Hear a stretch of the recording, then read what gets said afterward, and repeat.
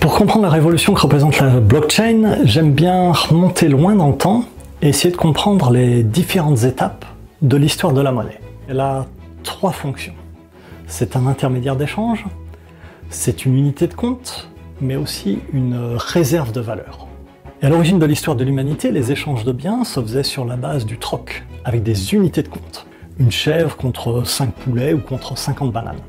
Et cependant, aucun de ces biens ne pouvait servir de réserve de valeur. Alors sont apparus ce qu'on appelle des paléo-monnaies. Par exemple, des coquillages nacrés, infalsifiables, et donc qui étaient rares dans les contrées montagneuses, pour justement servir non seulement d'intermédiaire d'échange et d'unité de compte, mais aussi de réserve de valeur. Et la garantie de valeur de la monnaie a ensuite été apportée par la rareté de son support, des pièces d'or ou d'électrum dans l'Antiquité, et également par le fait qu'elle était estampillée ou frappée par un garant. Et ensuite, au fil des siècles, nous sommes passés de ces monnaies qui avaient une valeur intrinsèque, convertible en or, à des monnaies dites fiduciaires c'est-à-dire sans valeur intrinsèque, mais basée sur la confiance en un État et sa banque centrale. Et c'est le cas de nos unités monétaires actuelles, l'euro, le dollar, qui ont perdu toute convertibilité en or, mais qui sont garanties par la confiance dans nos États.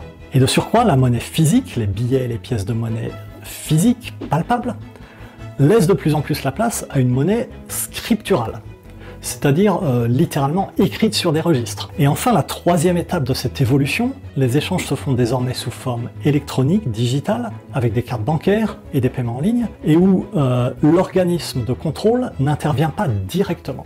Et enfin, nous y arrivons, la blockchain est en train de permettre d'ouvrir un nouveau chapitre révolutionnaire dans cette histoire de la monnaie, avec justement l'émergence des crypto-monnaies. Ces crypto-monnaies, c'est une forme de monnaie numérique totalement différente. Pourtant, la technologie de la blockchain permet de préserver l'essence de la monnaie. C'est un jeton abstrait qui est en soi immuable, infaillible, éternel, qui conserve sa valeur et qui représente l'échange de valeur, qui ne peut être saisi ou gelé, qui peut être transmis partout dans le monde, peut être vérifié indépendamment par quiconque leur soit, mais elle n'est contrôlée par personne.